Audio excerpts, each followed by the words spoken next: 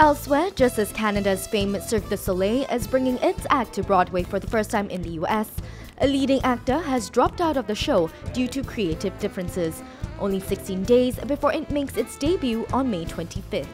Bradley Dean, who has appeared in Dr. Zhivago, Jane Eyre, and Evita, made the decision at a time the company is struggling to bounce back from flagging sales and the sudden death of an acrobat mid-show in 2013.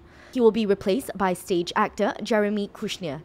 The upcoming show, Paramour, mixes song, dance, acting, and dazzling high trained acrobats for a story set in Hollywood's golden age. The main acts, Rudy Lewis and Ryan Vona, will be part of the make do cliche love triangle between a young actress and two love bugged lads.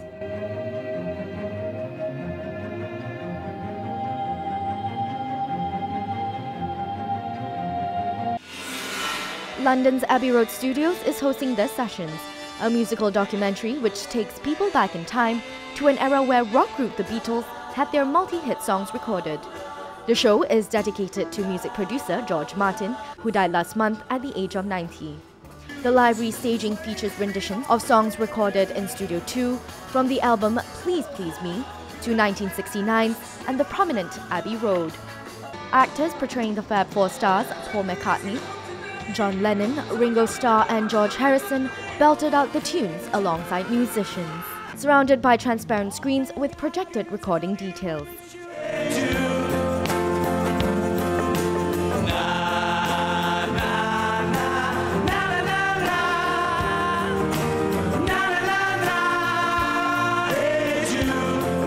Definitely. Yeah. It's just it just really makes you open your eyes and go, God, is that what they've done? Would that what they've done there? Would, would they have said that? The sessions will tour around the UK and some European countries until May 15.